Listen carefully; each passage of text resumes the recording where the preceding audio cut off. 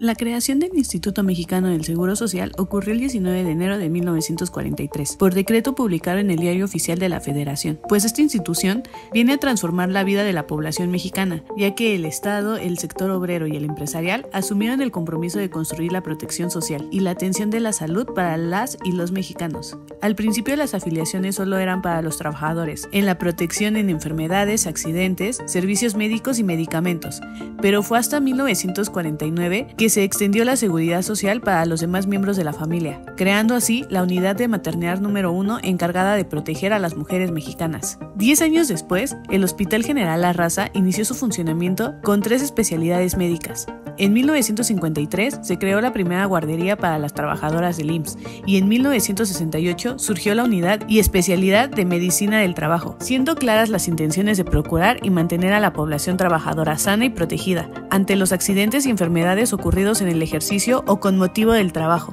En 1974 se amplió esta prestación social a las mujeres trabajadoras de las empresas afiliadas y con la firme intención de hacer accesible a la salud a los sectores que más lo necesitan. La vanguardia médica siempre ha caracterizado al IMSS. Para sus primeros 20 años de existencia ya se había realizado el primer trasplante renal y en su aniversario número 45 se llevó a cabo el primer trasplante de corazón en el Centro Médico Nacional La Raza.